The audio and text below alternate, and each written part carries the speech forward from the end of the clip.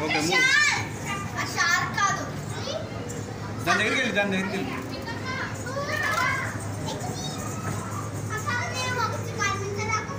వీడియోనే షార్క్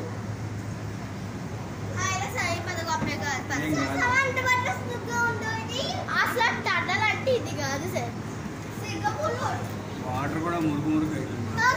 ఇదిగో